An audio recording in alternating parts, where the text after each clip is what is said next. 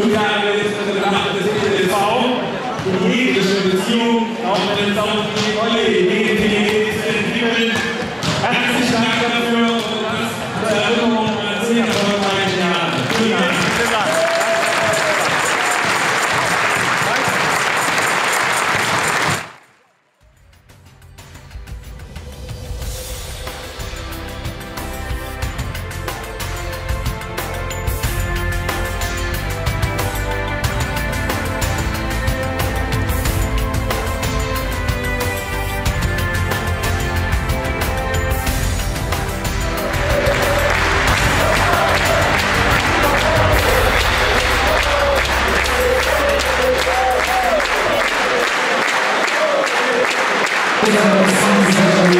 Nach einer zweiten Stunde Topspiel, Superkrimi.